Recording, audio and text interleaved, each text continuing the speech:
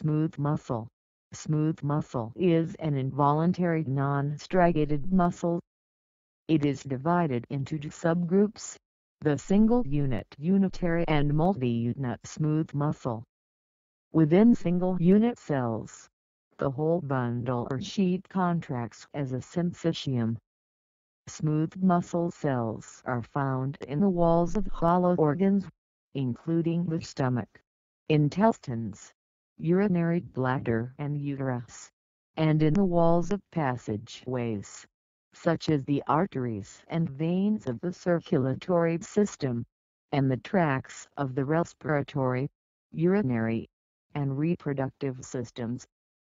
These cells are also present in the eyes and are able to change the size of the iris and alter the shape of the lens.